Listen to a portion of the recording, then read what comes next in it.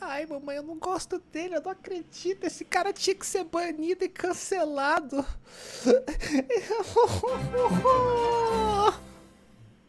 Ô, meu xará, Michel Mendes. Você é meu pai?